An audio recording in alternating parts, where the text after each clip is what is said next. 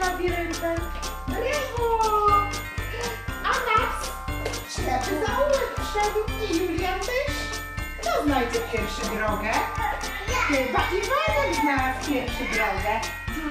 Brawo! Kto znalazł pierwszy drogę? Iwan jest pierwszy. A następny. Ela pierwszy druga znalazła drogę. Kto Tosia teraz? To przechodzimy. Zostawiamy sobie. Przechodzimy. Max, Zapraszam. psychology